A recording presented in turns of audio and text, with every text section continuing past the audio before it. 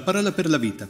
Lettura del commento al Vangelo di Paolo Curtaz di mercoledì 28 febbraio 2024. È sempre imbarazzante leggere questo racconto. Gesù sta acquistando consapevolezza di che svolta sta per prendere la sua missione e afferma con forza ai discepoli e a noi di essere disposto ad andare fino in fondo pur di non rinnegare il vero volto del Padre. È disposto a morire pur di non cambiare la sua idea su Dio. Questo è il senso profondo e ultimo del prendere la croce, che non significa sopportare il dolore, magari un dolore misteriosamente inviatoci da Dio, ma essere disposti a seguire le orme del Maestro fino a donare la nostra vita per testimoniare l'amore verso il Padre. E davanti a tanta determinazione, a tanta triste consapevolezza, davanti a tanta forza restiamo basiti dalla reazione dei discepoli, di noi discepoli.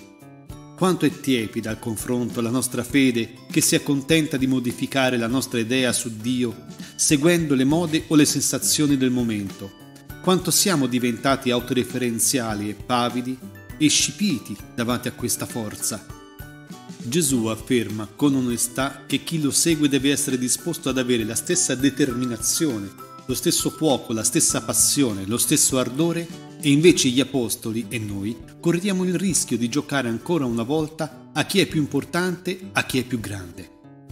Perché se diventando discepoli abbiamo, dovremmo, abbandonato la logica del mondo con la sua logica del primeggiare, dell'emergere, dello strappare like, l'accumulare denari, Spesso questa stessa logica subdola riemerge nelle nostre dinamiche ecclesiali.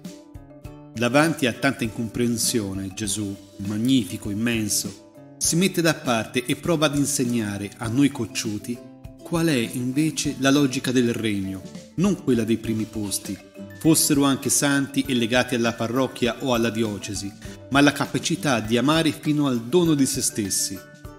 Vogliamo in questa giornata essere capaci e disposti a convertire il nostro cuore a una nuova logica, ad una nuova mentalità, fatta di dono e di servizio di sé, senza sgomitare e primeggiare perché ci siamo scoperti unici e amati agli occhi di Dio.